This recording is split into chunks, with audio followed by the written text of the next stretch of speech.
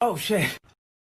Okay, first of all, your body's not supposed to look that fucking good. Okay, I don't know what you want me to do about that. Do you have a permit to have a body like that? no. Okay, well then you're coming with me. I'm taking you out to dinner. Can I put a shirt on? That body doesn't belong in a shirt.